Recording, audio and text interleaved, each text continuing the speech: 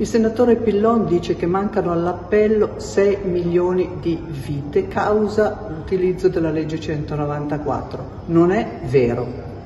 Basta colpevolizzare le donne, lavoriamo di più ad applicare pienamente una legge dello Stato e il senatore Pillon che sta nelle istituzioni deve contribuire ad applicarla. Rispetto per l'opinione di ciascuno, ovviamente, per la libertà di opinione, ma quando una legge dello Stato c'è va applicata da parte di tutte e tutti.